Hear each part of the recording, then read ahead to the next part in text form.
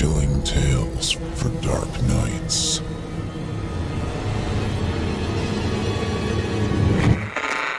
Want to make sure you never miss a Chilling Tales for Dark Nights video again? Be sure to subscribe and hit that bell to turn on notifications. It's time to turn off the lights and turn on the dark. Chilling tales for dark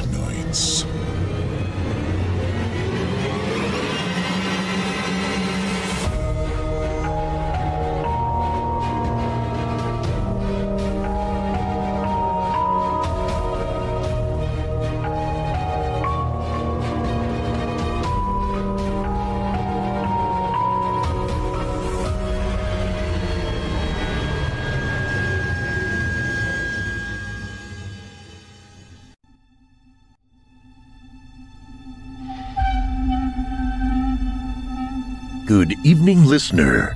You're listening to Chilling Tales for Dark Nights. On tonight's edition, we invite you to leave behind your safe reality and descend with us into the frightening depths of the most terrifying imaginations with an audio adaptation of frightening fiction about regretful reanimation. I'm your host, Paul J. McSorley, and tonight and every other Wednesday night, I'll be your guide as we traverse the dimly lit corridors of your darkest dreams. Joining us tonight to help bring to life the frightening fiction of Sylvester Barzey is myself, voice talent Paul J. McSorley. Now get your ticket ready, take your seat in our theater of the minds, and brace yourself. It's time to turn off the lights and turn on the dark. Our tale this evening is written by Sylvester Barzey and is performed by me, Paul J. McSorley. In this tale, we learn all we need to know about the title of tonight's show. Sometimes, dead is better. Now, without further ado, I present to you Adam.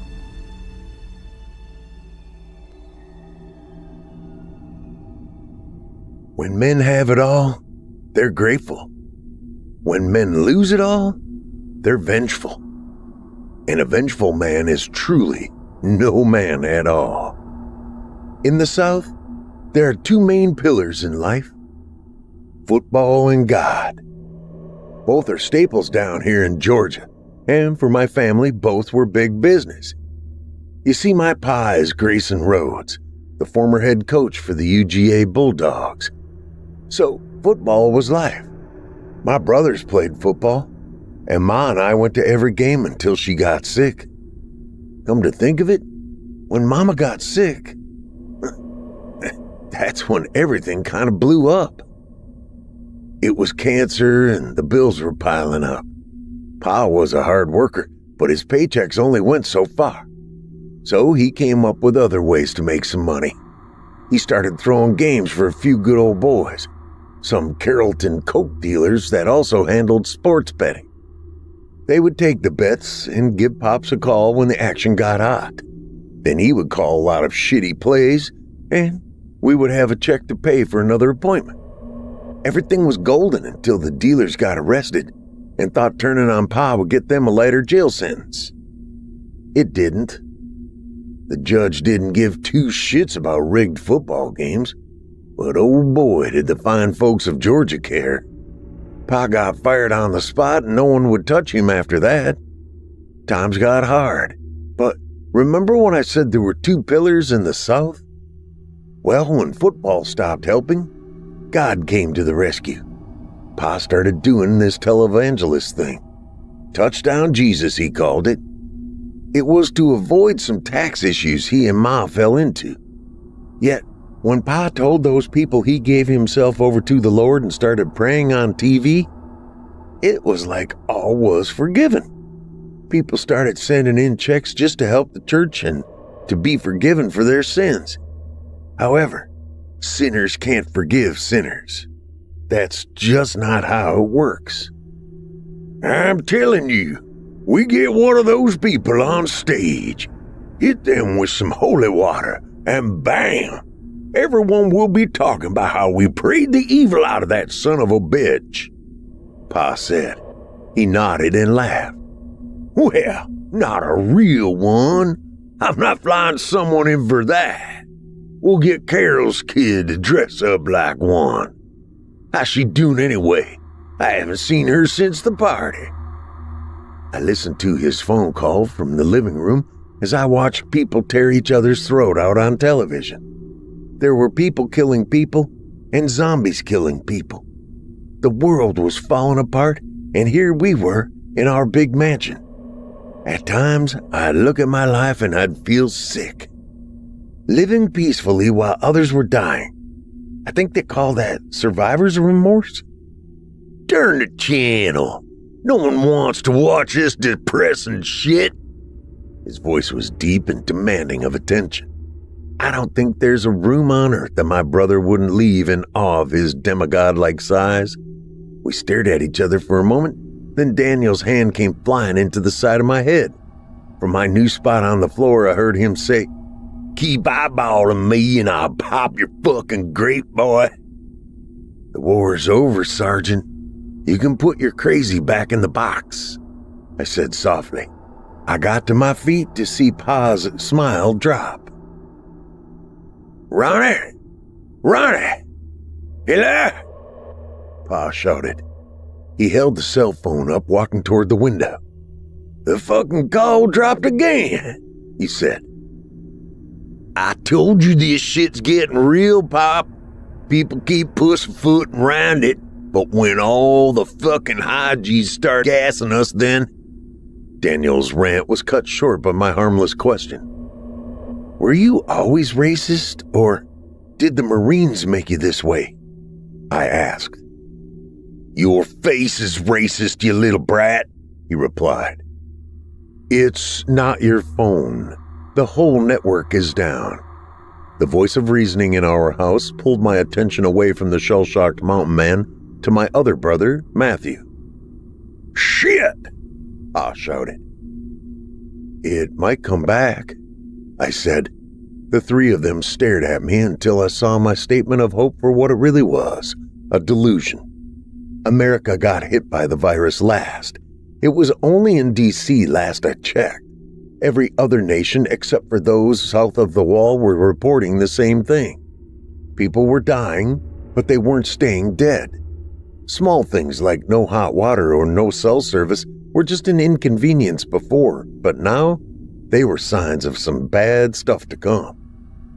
Adam, could you please check on Ma? Make sure all her equipment is working right, Matthew said. I looked over at Pa and he nodded slowly. So I made my way upstairs. Being sent away wasn't anything new to me. They used to do it all the time when they were dealing with those drug dealers, sending me off to get milk or mama's medicine. I used to feel disrespected, but I guess they wanted to hide their dark sides from me. Although the one thing I've learned in life is everyone has a dark side. Hey, Ma, I said softly. I didn't expect an answer. Long gone were the days where she would smile and ask me how I was doing. The doctor called it primitive neuroectodermal. I learned that word backwards and forwards, letter by letter. I thought I ought to know just what was killing my mama. Cell phones are down, so no dinner parties tonight. Maybe tomorrow, I said with a smile. I walked over toward the window and softly said, But I'm going to fix you something nice for dinner. She lied there with hazel eyes glued to the ceiling, never acknowledging my words or my presence. She was dying, but I was the one that felt like a ghost. Never seen and never heard. I went about checking all her equipment and decided to give her the meds just in case the power went out and I forgot. I spent a good hour talking with Ma. She never answered or looked at me, but she was the only one in the house that ever listened to me. Mama, things. My words were cut short by the sound of pounding on our front door. Quick and frantic booms, one right after the other. I could hear Pa's name being shouted. My eyes went toward the window, and I could see three shadows casting down the driveway. Mixed in with the darkness of those shadows was blood, lots of blood. Mr. Rhodes! The banging got more intense to the point that Pa couldn't avoid it anymore. I heard the door open and voices battling back and forth. I think we have a guest, Ma, I said softly. She didn't even blink. I like to imagine she was playing a trick on me, and when I closed the door, she would pop up and smile. What the fuck is going on? Pa shouted. I like to imagine we were all better than we truly were. We were at the studio and got overrun by those things. We barely made it out, a male voice said. I listened to his story as I slowly came down the stairs. It was no different than any of the stories I've seen on TV or read about on the internet. The only thing that set this tale apart from the rest was it was in our backyard. I fucking told you, I fucking told you. Those fucking ragheads. Daniel got cut off as Matthew stepped in front of him and sighed. What are you doing here, William? Matthew asked. The tone in his voice carried a hint of concern, but I could tell it was more for us than our guest. William Mills was Pa's head stagehand at the studio. He made sure everything ran smoothly, always had everything organized right down to the letter. William was muscular. Years of hanging stage lights can do that to you. His shaggy black hair tossed to the side as he rushed in with a hint of a smile that was framed by his pointed goatee. When I first met him, I thought, this is what the devil would look like. I'm not sure why I thought that. William had never been a wicked person, but then again, even the devil was an angel once. William was holding up a bloody mess of a man in his hands. The man's name was Travis. I had seen him around every now and then, but never talked to him, and from the looks of him, I never will. Travis got hurt as we were trying to get out. He Matthew wasted no time listening to William's explanation as he jumped toward the question we were all wondering. Was he bitten? Matthew asked. My brother's eyes were fixed on William. They stared each other down, like two lions battling for a gazelle. Just when I thought their eyes would cut each other in half, I heard her voice. The only real angel I had ever seen. Her name was Ruby, Ruby Mills. She was William's little sister and even with blood covering her body, she still looked amazing. Would you two cut the shit? He was shot. A bullet clipped him when everyone went nuts. Ruby said. She released her hold on Travis and walked up to Matthew. Now, you gonna help us? Or you just gonna stand there like some fucking clown? She asked softly. Matthew's jaw tightened and he looked at William. Put him on the dining room table. We'll call a doctor, he said softly. That's very kind of you, Matty boy, William said. Yeah, you're a real saint, Ruby replied. Her and William rushed Travis into the dining room. I stood there, looking at the blood trail through the open door. Then Pa slammed it shut as hard as he could. It's fine, Matthew said. Don't tell me it's fucking fine. Make it fucking fine. Pa hissed and he pushed past me as he made his way up the stairs. Where are you going? Daniel shouted, but the only answer he got was another door slam that echoed through the house. What the hell's that all about? Daniel asked. I'll tell you later. For now, go see if you can help Travis. Matthew said softly. I can tell you right now I can't help him because I'm not a doctor, nor do I play one on TV. Daniel replied. Jesus Christ, Daniel. Did the military teach you anything other than how to shoot a fucking. Matthew was cut short by another one of my simple minded questions. Why did you tell him that we'd call a doctor? I asked. Matthew's head turned toward me, and then he looked at the doorway leading to the dining room. Ruby was standing there with her arms crossed. I'll tell you later, Matthew replied. Ruby's hazel eyes slowly gazed at each of us for a moment, before she shoved her hands into her pockets and softly said, We need some towels or something to stop the bleeding. There was a man bleeding to death on our table, but panic or sorrow weren't the emotions that seemed to be filling the air. I looked over at Ruby and she smiled at me. I'll get you some, I said softly. I was a sucker for Ruby's smiles. All of Georgia knew that, especially Ruby. She nodded, turned around, walking back into the dining room, and I ran up the steps to retrieve her towels like the good lapdog I was. When I returned downstairs, I saw my brothers and Pa whispering. No, whispering is too innocent of a term. They were plotting in Pa's office. My footsteps were light as I crept toward the doorway. Freaking out now isn't going to make the problem go away, Matthew said. You shut the hell up with that calm breathing bullshit, Pa snapped back. Lower your fucking voice, Matthew hissed, and his head turned too fast for me to dodge his glare. I was quickly snatched up and pulled into the office with towels in hand. Matthew carefully closed the door behind me. Why the hell's he here? Daniel asked. Because, like it or not, he's part of this, Matthew said. My head turned from side to side as I held the towels closely to my chest.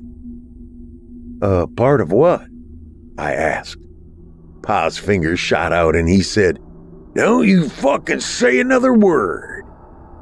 There wouldn't be anything to say if you listened for once, old man, Matthew said. What the hell's going on? I shouted, and then Daniel's massive arm came around my neck and quickly pulled me down into a headlock with very little protest from myself. I was trying to fight, but my efforts versus his natural and synthetic strength were wasted. Shut up, Daniel said softly as his bicep tightened around my neck. Or I'll shut you up. Let him go, Daniel, Matthew said, and the beast quickly released me from his grasp. Matthew leaned on our father's desk as he folded his arms over his chest. We need to get him out of the house. Who? I asked, and once the words left my lips, we heard the office door slowly open to reveal William in the middle of the doorway. His eyes were scanning the room as he smiled. This is a real lovely home you got here, Mr. Rhodes. Real nice woodwork, built to last, William said. He slowly walked past the mountain of a man known as Daniel and made his way toward my father's bookcase. He placed his green beer bottle on the stained mahogany wood as his finger ran across the spines of the books. I didn't take you for a Yuengling drinker, William, Pa said, and William laughed as he pulled a black book off the bookcase.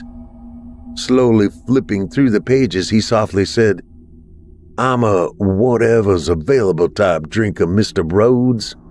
Then he slammed the book closed. I don't know many people that keep the Bible in their bookcase. I like the Lord close, Pa said. William nodded.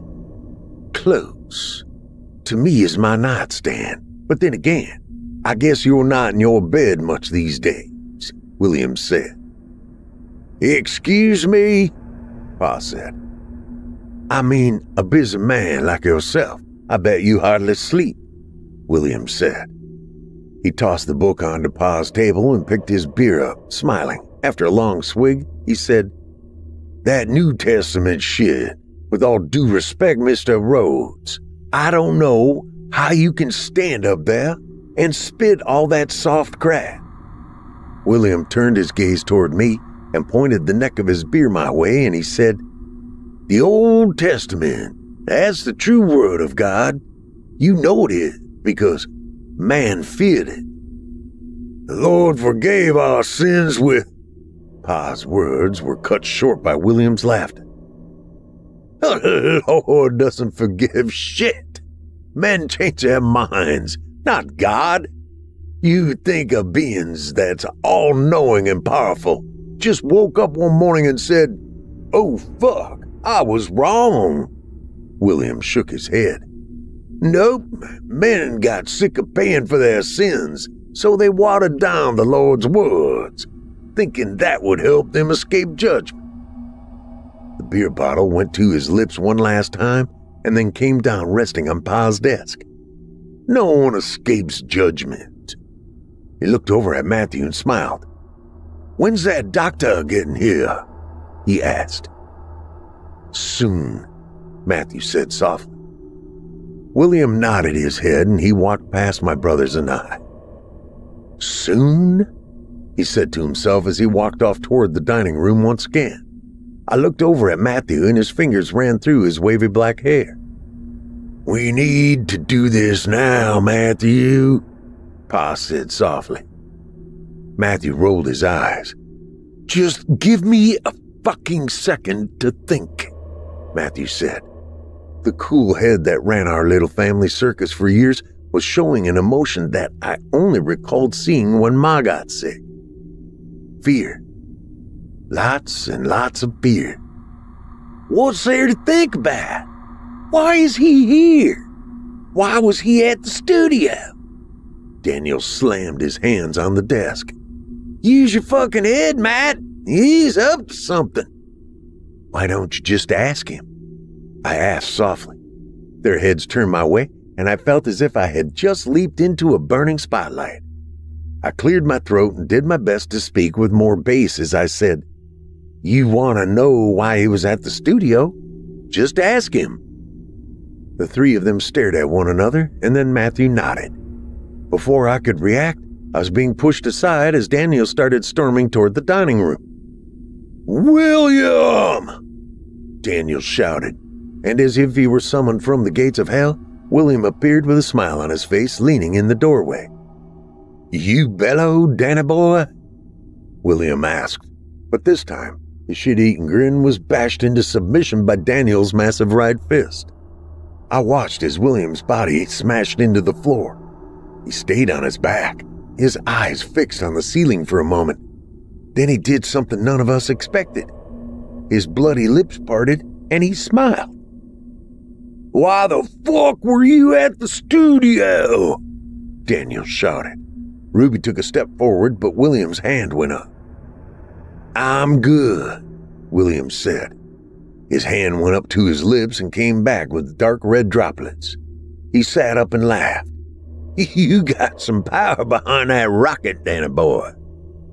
William slowly stood up and rolled his neck. The cracking sound sent a chill through me. I was slowly backing up, trying to retreat from it all, but my mind didn't know that my body was just reacting. But your form is shit. Answer the fucking question, Matthew shouted. William's eyebrow went up. What question was. Daniel rushed toward William. They both moved faster than I expected. Daniel lifted William up in the air. Then they both came crashing down onto the floor. I was sure that was the end of it. But Daniel wasn't getting up. We moved closer to see Daniel's head locked under William's arm.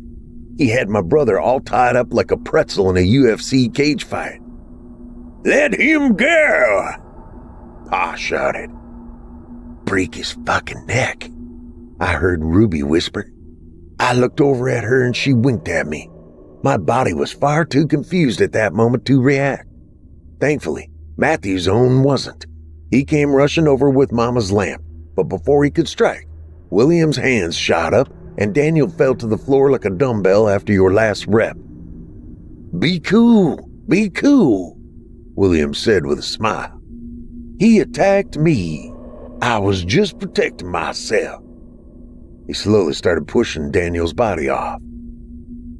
What were you doing at the studio? Matthew asked. You mean, why was I there after y'all fired me? William laughed as he got to his feet. He started dusting himself off and softly said, Why, why do you think I was there? I don't fucking know, Matthew replied. He was cleaning out his locker, you fucking shithead, Ruby shouted. Matthew looked over from Ruby to William and then back at Pa and I. We thought. Matthew was cut off by William's laughter. You thought what? That I went over there to shoot up the studio? Go postal on Mr. Rhodes and y'all? He asked, and then his eyes scanned over us. God damn! Why the fuck would I do that? Because y'all fired me? The lamp slowly came down, and Daniel started moving around on the floor. I'm sorry, Matthew said softly and looked over at Ruby. I really am. Ruby glared at him and then rolled her eyes. Her and William walked past me. They got to the front door, and William put up his finger. With his back turned to us, he softly said, There's only a handful of things worth killing over, and a job ain't one of them. William's head turned to look at us over his shoulder. Y'all get Travis some help whenever the phones come back on, he said. We all stared at one another. Here we were accusing him of being dishonest, and he knew we were lying the whole time. You don't have to leave, Pa said, and Ruby laughed as she pulled open the door. William quickly followed behind her. My head turned toward Matthew and I shouted, what the hell was that about? Maybe he doesn't know, Matthew said to himself. There's nothing to know because nothing fucking happened. I shouted. My eyes went back over to Matthew, who was helping Daniel to his feet now. We stared at one another for a moment before he softly said, Let it go, Adam. So I did. I stormed off, slamming doors and locked myself away like the kid they always made me out to be. Locked myself away from all their secrets. I rested my head on my pillow, and the next thing I knew, I was asleep. A loud crash jolted me awake. The moonlight was filling up my room, and my clothes were soaked from the summer sweat. I sat still for a moment, pulling my head out of dreamland and into the real world. Banging and rustling could be heard coming from below. My white sneakers slid out of bed as I made my way to the door. My fingers went around the knob, and I wondered what I was walking into. Was it Matthew and Pa finally having it out about their lies? Did William return for round two with Daniel? Or maybe it was sweet, beautiful Ruby here to burn our house down. I wasn't sure what was below, but I pulled the door open anyway. It made a loud creaking sound that took over the darkness of the upstairs. Then the rustling stopped. Whatever it was heard me, just as I heard it. Matt? I said softly. My rubber soles lightly pressed into the wooden floors and did my best to creep toward the staircase. Dad? I said softly. A loud bang rattled me and I jumped back. What the fuck, shitbrick?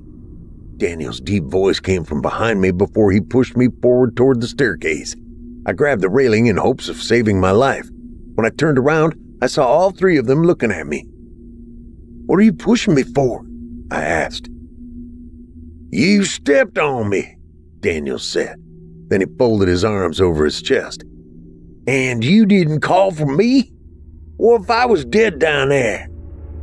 Well, that's a justifiable reason to toss someone down the stairs. Are you sure your steroid dosage isn't too high? I replied, and Matthew laughed, but Pa didn't. His attention was on the situation that was coming from below. Daniel, go get my gun, Pa whispered. Your gun is in your office, Daniel replied. I know that, Pa said. So why the hell would he go downstairs, risk getting shot just to come back upstairs, old man? Matthew hissed. Shot! I shouted. My hand slipped over my mouth. It was a reaction. A very, very bad timed reaction, but a reaction nonetheless. Daniel went to grab me, but I quickly backed up. Another reaction that came at a very, very bad time. We all watched Daniel's 260 pounds of muscle tumbled down the wooden staircase, every step sounding off with a chilling thump against his body. Danny!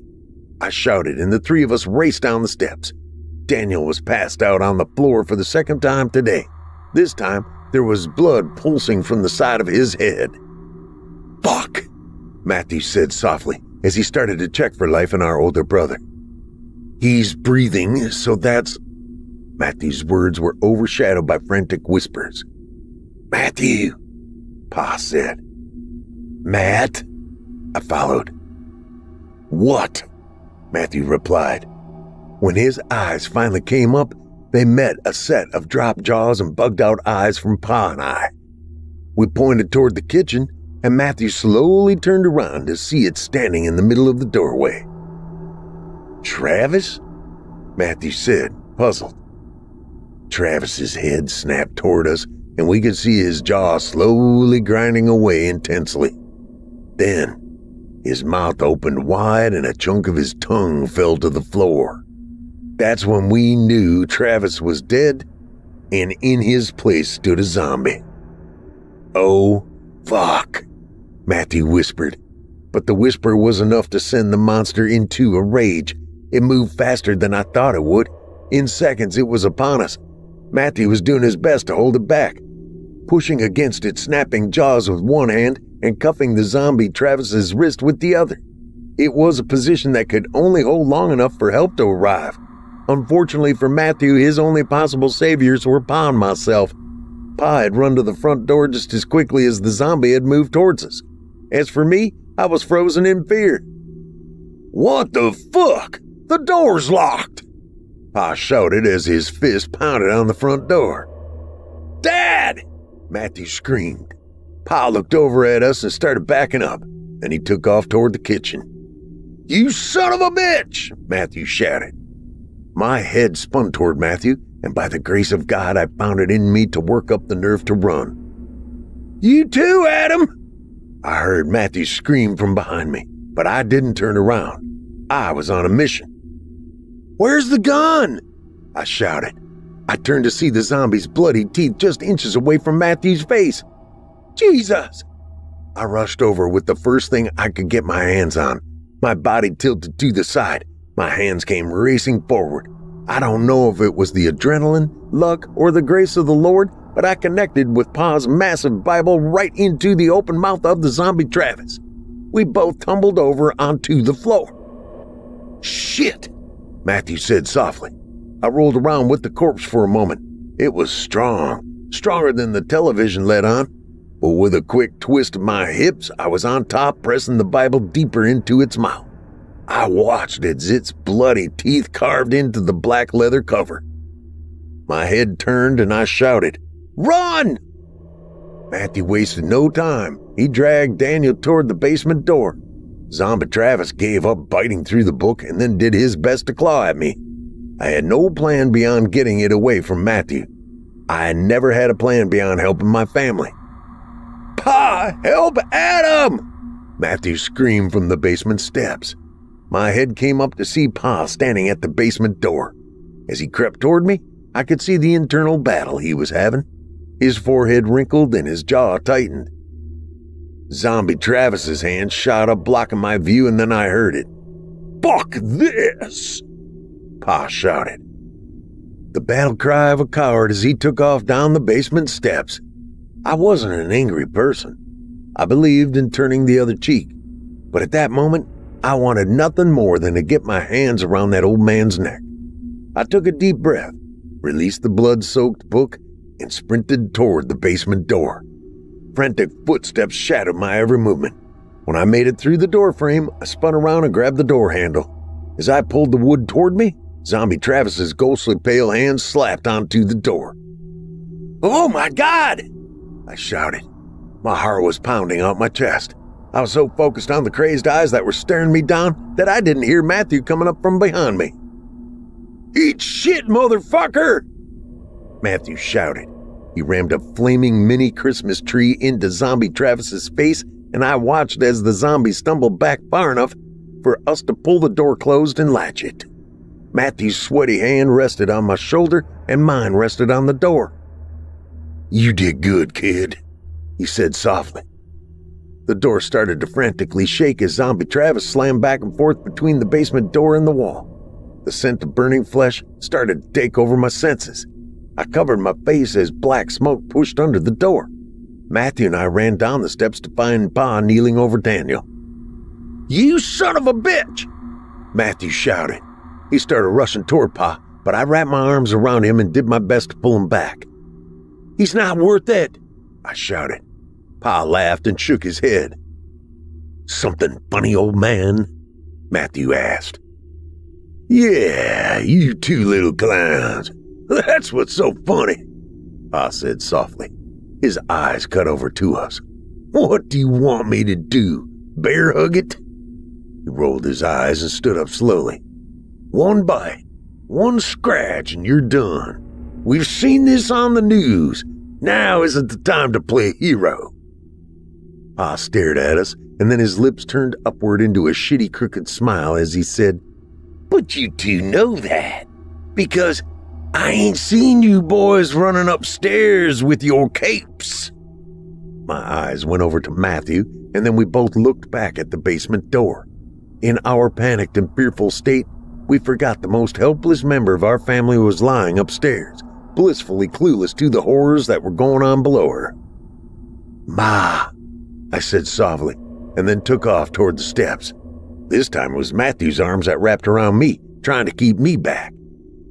Adam, don't be fucking crazy, shouted. Ma! I screamed.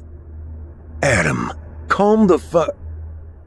Matthew's words, and everyone's hearts for that matter, were stopped cold by one loud, chilling sound. A sound we never expected to hear at that moment. The sound of a gunshot. Ma! I screamed. The gunshot was followed by some light drilling sounds. I stood there, staring up at the door as Matthew cautiously started making his way up the steps. Matthew, get your ass down here, Pa hissed. But Matt continued up the steps, one cautious footstep at a time. Matthew, Pa shouted. Listen to your daddy, Matty boy. Cold southern twang came from beyond the door. Then the laughter started. Two sets of it a man and a woman. Yeah, I wouldn't get too close. I would hate for a bullet to mess up that pretty face of yours, the woman said. William? Ruby? Matthew said softly. Matt's fingers pulled back on the latch, but when he pushed the door, it didn't move. William, the door's stuck, buddy, Matthew said with a laugh. You mind? Boy, I ain't your goddamn buddy. I ain't your pal. I ain't your fucking friend. William hollered. The female voice, which I knew from anywhere, laughed. All the doors and windows are bolted from the outside. We did a little DIY while y'all was sleeping, Ruby said. Matthew's fist banged on the door. Open the fucking door, you bitch! Matthew shouted. Oh, Matthew! That's a dirty, dirty mouth you got. Your mama ain't teach you how to talk to a lady? Ruby asked. Sis, that's a job for a daddy, William replied. I hope not, because then the whole lot of them are fucked, Ruby said and started to laugh. Mr. Rhodes, William shouted. Can you hear me well enough down there? he asked. Our eyes darted toward Pa. He stood next to me at the bottom step. I elbowed him and he rolled his eyes as he said, Yeah. Good, William said softly. You know, I woke up this morning and I had no plans on ever seeing your shit show of a family again. I said to myself, Self, you are a man with many gifts, many skills. You can do wonders. I wanted to believe y'all firing me was a sign from God to move on and build elsewhere. So why didn't you? Matthew shouted. Because when I went to check on my little sister, to let her know none of this was her fault, that we were given an opportunity to escape your family's prison of a life. I found her looping a bedsheet around her neck, William replied. There's very little in this world that shuts Matthew up, but that statement sure enough did. I don't know exactly what it did to me. My heart wasn't racing, but it wasn't still. The only way I can describe it is how a deer must feel. You know, after a hunter shoots at it and it's watching those camo pants coming closer, but it can't move. Then it sees that buck knife, and all it wants to do is turn tail and run. All it wants is to be free of that moment. However, a deer's heart feels in that moment, mine felt like that on cocaine. Ruby, I had. I had no. My words were cut short by the sound of a gunshot. Matthew bolted down the steps towards Pa and I. Don't you ever fucking talk to her again, William shouted, and the boy in me wanted to run and hide. If I'm honest, the man in me had the same idea. Not you, not your shithead brothers, and for damn sure not that fucking old man down there. We all stood there in silence because no matter what any of us wanted to do at that moment, we knew William was running the show now. I begged her to come down off that chair. Hell, I threatened her. Told her I could knock her ass into the ER before she could even think of stepping off that chair. William shouted. Then we heard his voice soften as he said, It was all talk. I was scared out of my mind. I didn't want that moment to be our last moment. I didn't want to. All men cry. Bad men, good men, weak men, strong men. We all do it. So I wasn't going to judge William when he did it. Yet while Matthew and I are brothers, we are not the same. The laughter started light at first, like a kid in the back of the class, and then it grew. You laughing at me? I pushed Matthew and he pushed me back.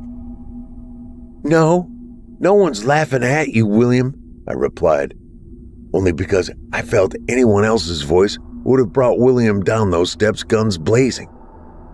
Nothing I said would make her calm down. She was hellbent on killing herself until. William stopped talking, as much as his words were scaring the hell out of me. His silence scared me even more. Until what? Matthew asked, and I was sure that the door was going to fly open and bullets were going to tear us in two. You don't always need a weapon to tear someone in half.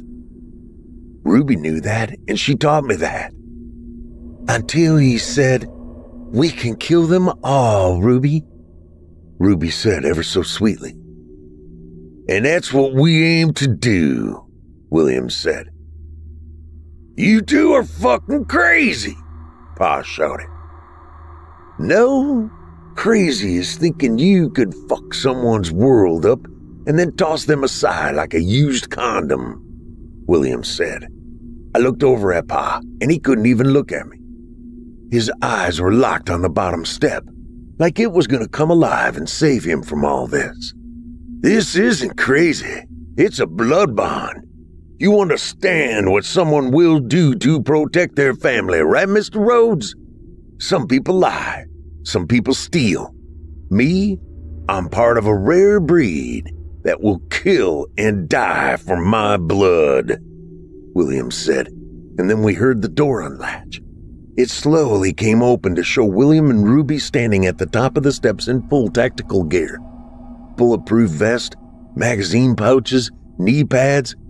They came dressed for war. William's M4 pointed down at Pa and a red dot appeared on his chest. The question is, what breed are you, Mr. Rhodes? William asked. Ruby's M4 came up and her red dot landed right in the middle of Matthew's head. Because maybe if you were willing to die first, I might let your boys go, William said. If he dies, you'll let us go? Matthew asked. He said maybe, Ruby replied. William laughed, and then the two of them took slow steps back before closing the door. Someone has to pay for the sins of this family. I want an answer by the morning, William said. Tick tock, Ruby shouted. With that, we heard footsteps, laughter, and then nothing. You son of a bitch! I'll kill you for this! You hear me? I'll fucking kill you! Matthew shouted. Calm down, Matt, Pa said softly, and then Matthew's cannon of rage had a whole new target. I was once again the only thing between Pa and a humbling moment of picking his teeth up off the floor. Calm down, calm down. None of this would have happened if you fucking listened to me in the first place, Matthew shouted. He tossed me to the side and I slammed my elbow into the claw end of an old hammer. They were arguing back and forth, but their words didn't seem to resonate with me. They were just empty shells as my mind focused on one thought. One that echoed throughout my soul until my lips softly released it. What did you do? I asked. My words were ignored by the pissing contest that they were knee deep in. I was always ignored, always thought of as this second class citizen who didn't need to know anything more than what he was told. Always taught to never have a voice, so I decided to raise it for once in my life. What did you do? I shouted, and before they could react, I sent that hammer sailing through the air. The blood came quickly. Then came the screaming. I watched as he crumbled down to the floor holding his face.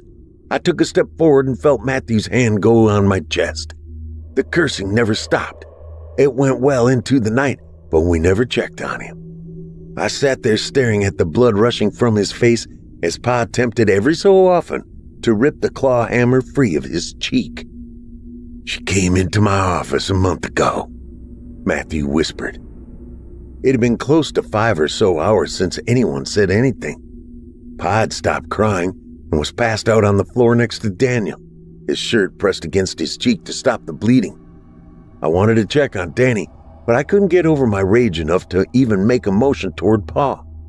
I looked at Matthew and he let out a sigh as he continued. Ruby said that the old man got a little fresh one night after drinking. Matthew laughed and shook his head. she was telling me my father was a monster, and all I was thinking about was what kind of damage control was this going to take? Did he. Did he. I couldn't even bring myself to say the words. You know there's no reasoning with him when he's drunk. I'm sure she did her best to fight him off. Knowing Ruby, I know she fought the whole time. Matthew said and tousled his hair with his fingers before softly saying, I thought looking out for the family was the right thing to do. So I offered her some cash, but she declined and said she was going to tell everyone so we fired her and William before she could. So, that's the sin?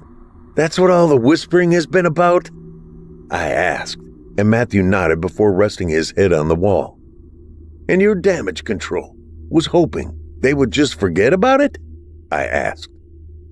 No, I fired them to make them look disgruntled if they ever did say anything. Send them off with a big bonus or something. It was better than Dad's plan, he said. I didn't ask what that plan was because I already knew. However, as I sat on that cold basement floor facing another long hour in our billion dollar prison, I thought maybe Pa's plan wasn't that bad. I know God is always watching, but I hoped he wasn't in that moment because I truly believed anything would have been better than letting William live. I'm hungry, I said softly. Oh, I'm starving. The faint words came from the bloody corner of the basement where Pa and Daniel lied. Danny? Matthew said, and we both rushed to his side. The mountain man didn't move. His body was still as he stared up at the light of the basement. My face came into his view and he closed his eyes. I'm gonna kill you, shit brick, Daniel said softly. You're gonna have to sit up first, I said. We all laughed, and then Daniel's eyes went over toward Pa. He looked back over at Matthew as he said, What's up with the old man? He got his face smashed in by a hammer, Matthew whispered. No shit, by who? Daniel asked, and I raised my hand slowly. Is no one safe from your terror? He asked, and I sighed, shaking my head. I think we should do it, Matthew said. Do what? I asked. Matthew's eyes came upon me, and no words needed to be spoken. I shook my head and got to my feet. No, we're not doing that, I said. Matthew shot to his feet and shouted, What other choice do we have? You heard William. He might let us go. I rolled my eyes and looked over at Pa. Matthew started walking toward him, and I stood in his way once again. It's him or us, Matthew said softly. I heard Pa shuffling behind me, and then Daniel slowly got up for the first time in hours. I took a step back and shook my head as I softly said, We're a family. Before I got the chance to see the reaction on Matthew's face, the basement door opened and he took off, speeding up the steps. I ran after him, but came to a stop when I saw the barrel of William's M4 rifle being pointed down at us. The red dot found a nice home on Matthew's chest. Back the fuck up, Matty boy! William shouted. The door opened up wider and Ruby came into view with the large pot in her hands. Unless you're coming up to be the first to die? he asked. I wish, Ruby said. She looked down at me and smiled. Adam, I made you boys some stew. I'll take it, Matthew said softly as he put out his hands. Ruby stared at his palms for a moment before looking back up into his eyes. It's Adam, or none of you little shits eat, she screamed.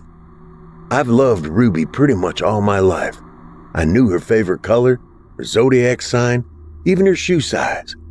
But I missed the moment when my beautiful angel fell from grace. I wondered how long she was crying out for help with no one answering her. I wondered how many studio sessions she wished she could avoid. How many fake smiles did she have to put on? I slowly started making my way up the steps past Matthew. I came up to the top, and Ruby placed the pot in my hands. Then she put a set of spoons on the lid. I did the best I could with what I had, she said. I stared down at the lid for an awkward moment, trying to think of something to say. I'm sorry for what they did, I said softly. Ruby's hand rested on mine and she leaned in. As her body came closer, I saw the barrel of William's M4 slowly turn toward me. With one jerk of a finger, he could end my life, and part of me wished he would. But instead of a bullet in my chest, I got a soft whisper in my ear. All we want is him. Ruby leaned back and her soft pink lips brushed along my cheek and sent a chill through me.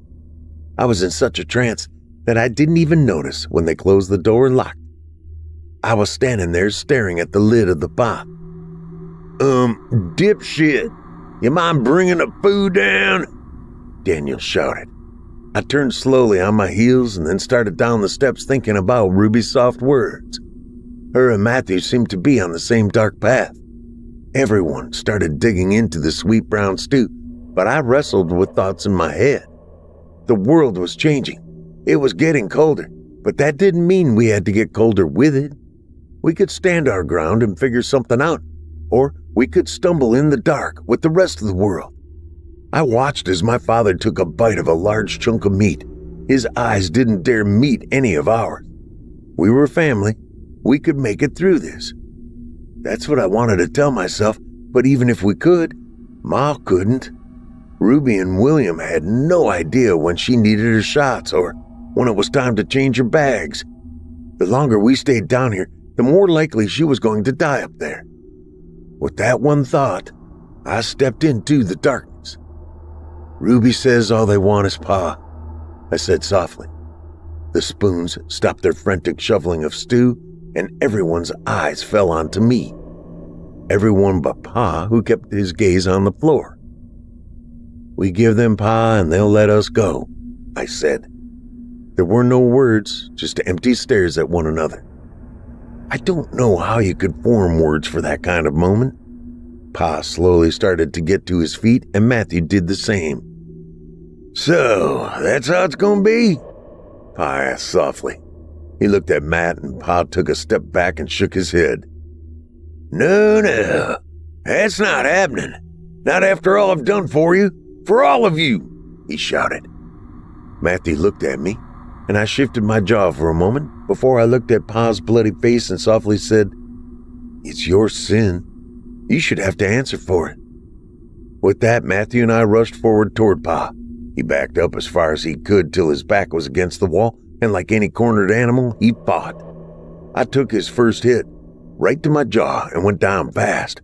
Matthew took one to the arm, but he fired back with a blow to Pa's gut.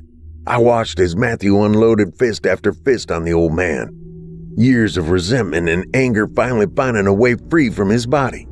There's no telling how many things he had to cover up, how many lies he had to tell to keep Pa above water. For years, the old man was drowning in his sins and he was pulling Matthew right down along with him. I got to my feet and joined in. Daniel didn't say a word as my white sneakers started to turn red from the blood.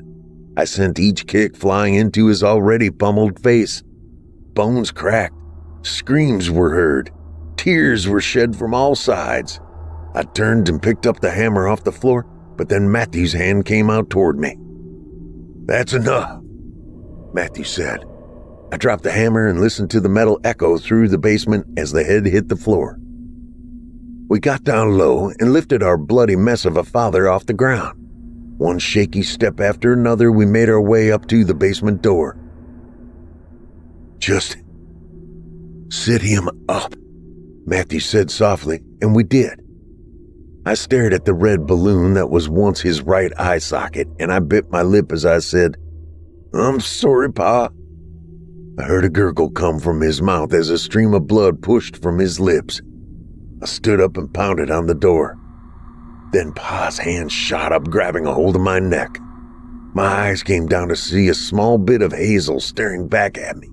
His fingers tightened around my neck. I could feel his nails breaking into my skin.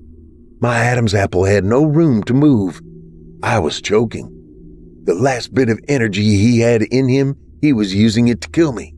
I felt a sudden rush of pain in the back of my eyeballs as my head started to fall back. Just when I thought I was a goner, the basement door opened up and William slammed the butt of his rifle into Pa's head. His hand fell, and I went tumbling back into Matthew's open arms. We watched as they dragged Pa into the house and slammed the door, locking it once again. You all right? Matthew asked.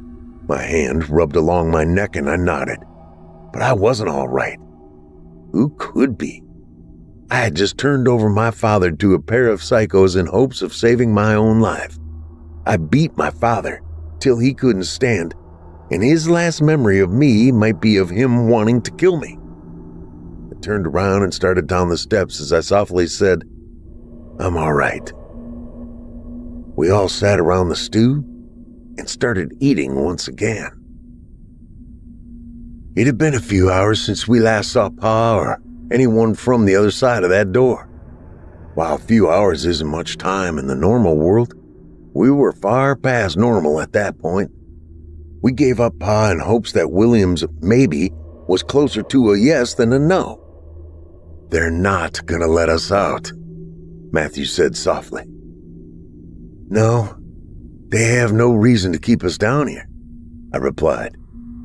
They got 20 to 25 years of reasons, shit brick. They don't want to go to jail over this, Daniel said. There aren't any more jails, I said. Why? Because we saw one fucking zombie? For all we know, they took care of the outbreak and the world's moving on just like it always does, Daniel said. So why keep us down here? Why keep us alive at all? I asked. Matthew shrugged and rested his head on the wall. We all sat in silence for a moment before I softly said, I wonder how Ma's doing. Matthew's eyes came over to me and he placed his hand on my shoulder. I'm sure she's fine, Matthew said softly. He coughed and then I coughed. My throat felt tight and itchy. I looked over at Daniel, who had started coughing as well. It was then I noticed how gray the air looked. I walked closer to the steps and I could smell the smoke. I made my way up the wooden steps. I was face to face with the door. I took a moment and then I started pounding on it. William! Ruby! I shouted. My hand continued to pound on the door. William, open up! I shouted. I could hear Matthew and Daniel quickly coming up behind me. We all started coughing as the smoke seemed to be pushing faster into the room. William! I shouted. Matthew pulled me aside as he started slamming his hands onto the door. Ruby, open this fucking door! Matthew shouted. Yet there was no answer, no sound whatsoever. All that could be heard were our heartbeats and the door as it shook under Matthew's fist. Open the fucking door! Move, Daniel said. With those words, Matthew and I took a step back and allowed the mountain that was our older brother to make his way toward the door. His hand took hold of the doorknob and he shook it for a moment. It's warm, he said. Then he took a step back and lowered his shoulder. I watched as his shoulder went slamming into the thick wooden door. One violent ram after another was sent by Daniel. We all knew what this moment meant. If they weren't responding to this, then they were gone. We heard the wood start to split, and then Matthew joined in on the attack. One giant ram later, and the door went flying open. Daniel and Matthew hit the floor just as fast as the black smoke hit our nostrils. It was filling the house, but it was clear that the fire was upstairs. I stepped over them and started toward the staircase. Where the hell are you going? Daniel shouted. I'm gonna go get Ma. Don't be dumb. I heard both my brothers calling my name, but I continued on. I closed my eyes slightly because the heat and smoke were causing them to burn. I felt my way to Mama's room, and when my hand hit the doorknob, I quickly pulled it back. The metal was burning hot. Ma! I shouted. I started to kick the door. I didn't know what to expect. I wasn't even sure what I was doing. I just knew she needed me. I kicked the door one more time and it pushed open, and then my heart stopped. The bed was engulfed in flames, and the room was quickly following behind it. Adam! Matthew shouted. He grabbed a hold of me as I fought to run into the room. Ma! I screamed. Sweat poured down my face as the flames made their way toward the door. Matthew kept dragging me back, pulling me down the hall. It was a back and forth fight until Daniel came and tossed me over his shoulder. I kept screaming, Ma! all the way down the steps. We made it to the front door, but it wouldn't move. It was bolted shut from the other side, like Ruby said. What the fuck are we gonna do? Matthew asked. Daniel tossed me down on the floor and he bashed his elbow through the window, knocking out the glass. He started pushing the shards of glass onto the floor. He turned around to look at us. Blood was running down his arm as he shouted, Move your asses! We all went through the window one by one. I was last, and as I coughed and stared at the staircase, I honestly thought of just staying there and letting the flames take me too. My eyes went toward the kitchen, and I could see a pool of blood with two bodies lying among the red. One was zombie Travis, all burned and freakish looking. The other body was Pa. I could tell from the gold watch that was still on his wrist. They might have done the deed, but it was his sons that truly killed him. I turned and hopped through the window. When I came through on the other side, I saw Matthew and Daniel standing there staring out at the driveway. I took a step closer and I could see them Ruby and William sitting on the hood of Pa's Mustang with a front row seat to watch our home burn. Damn! Y'all got out faster than I thought, William said before pointing his weapon at us. Maybe you were right, sis. We should have started the fire on the first floor. Told you, Ruby replied. I pushed past my brothers and pointed at her. How could you do that? To her? Ma had nothing to do with this. How could you, Ruby? I shouted. Ruby stared at me and rolled her eyes before sliding off the hood of the car, clapping her hands slowly. You're cute. It's sweet how you think the world works, she said. Matthew took a step forward and Ruby sighed thinking you could just walk around here like a gift? without letting me take a peek inside? What the hell are you going on about? Daniel shouted. You three been down there for damn near a day. He didn't tell you the juicy details about what he did? All the shit he said before he raped me? Ruby shouted. I'm sorry for what Pa did to you, but we. But Ma! She didn't have anything to do with that! I shouted. Pa? William said. Your daddy was a snake who thought he could pay me to keep my mouth shut, Ruby said. William started walking towards us with his M4 aim. He thought because y'all had money that it was going to solve everything. Like it could give back what you took from me, Ruby screamed. Then I heard it. It wasn't a whisper, more like a dirty cat call you heard in the middle of the night from some drunk frat boys. You know you liked it, Matthew said, and I took a step back. What? I said softly, and Matthew looked at me. There was a small smile on his face, and then he looked back at Ruby. You loved it, Ruby.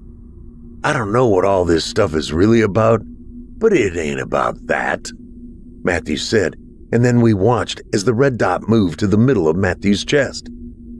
You raped me! Ruby screamed. And now you're gonna pay, William shouted. A loud blast was heard, but it wasn't the one I expected.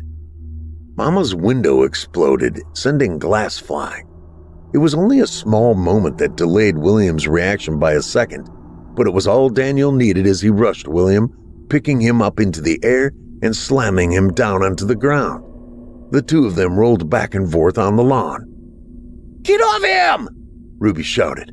I looked over at Pa's car to see the handle of an M4 sticking up from the passenger seat. Ruby's hazel eyes fell on me, and then they darted over to the car. Next thing I knew, we were both racing toward it. I was just a second faster as I pulled out the rifle and pointed it at her. Back the hell up! I shouted. Ruby's hands went up and she slowly started taking steps backwards. I turned the muzzle of the gun towards William and Daniel. All right, that's enough! I shouted, but they kept rolling, so I fired a warning shot into the air and the pair came to a quick stop. Matthew walked over to them, picking up William's M4. Get over there by your brother, I said softly. You all right? Matthew asked. Yeah, Daniel said. They both walked over toward me. I kept my red dot on Ruby, and Matthew kept his on William. You don't have to do this. I told you all we want is him, Ruby said. I looked over at Matthew and then looked back at Ruby. Well, you can't have him, I said. I felt Matthew's eyes on me. Was he proud? Was he happy that his little brother was standing up for him? I don't know. I don't think I'll ever know what goes on inside his head. You killed my father and my mother, I said softly. And now, you gotta pay for your sins, I said. Any last words? Matthew asked. William's hands were up along with Ruby's. He smiled and nodded. Yeah, just one. How did that stew taste? William asked. Ruby's head turned to look at him. Was it sweet? Maybe something Mama would make? William said as he started laughing. What the fuck are you laughing at? Daniel yelled. You ate your mama! William shouted. You ate your mama! His words still wake me up in the middle of the night, that crazed scream. I can't get it out of my head. Matthew pulled the trigger and sent a bullet flying into William's head. Ruby jumped and looked over at me. Please, Adam, she cried, and I pulled the trigger. I watched her body fly back and tumbled over into the ground. I should have turned my rifle on him or myself. If I was a real man, I would have done that a long time ago but I'm more like my dad than I like to admit. I'm a coward who just wants to do right by his family. Daniel said I ain't been right since then. He said I'm broken. And maybe I am. We loaded up in the car and drove off. I didn't tell anyone this because I guess I felt I owed her something, but I saw Ruby get up. I don't know what happened to her, but I hope she's doing better than we are. I hope she got away from the sin.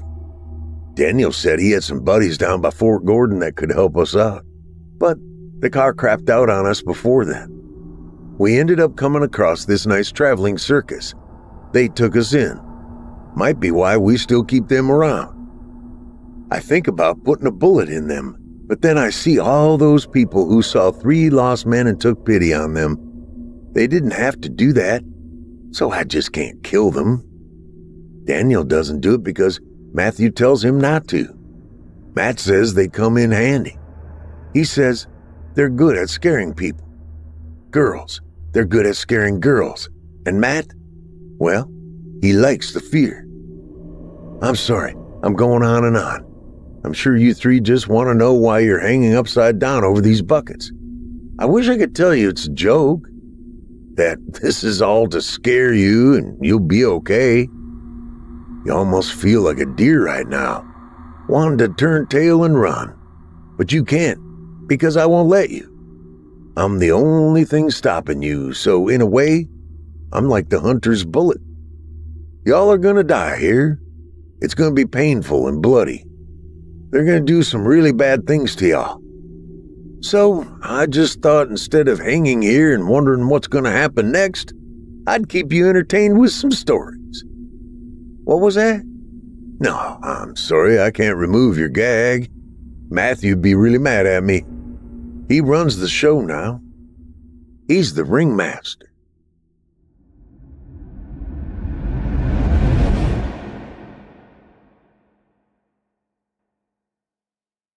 I hope you enjoyed Adam, written by Sylvester Barzey and performed by Paul J. McSorley. Well, friends, our weekly descent into the depths has just about come to a close. But before we go, I'd like to take a moment to thank you for joining us tonight and remind you to take a moment to stop by our iTunes page and leave Chilling Tales for Dark Nights a five star review and a kind word. And follow us on Facebook, Twitter, and Instagram if you haven't already. And of course, subscribe to us on YouTube where you can find an archive of our work going back to 2012. And consider signing up as a patron at our website, chillingtalesfordarknights.com, to show your support and get all of our content ad free. I'm your host of the evening, Paul J. McSorley, and it's been a pleasure. Tune in again next week when we once again turn off the lights and turn on the dark. Sweet dreams, listener. Sweet dreams.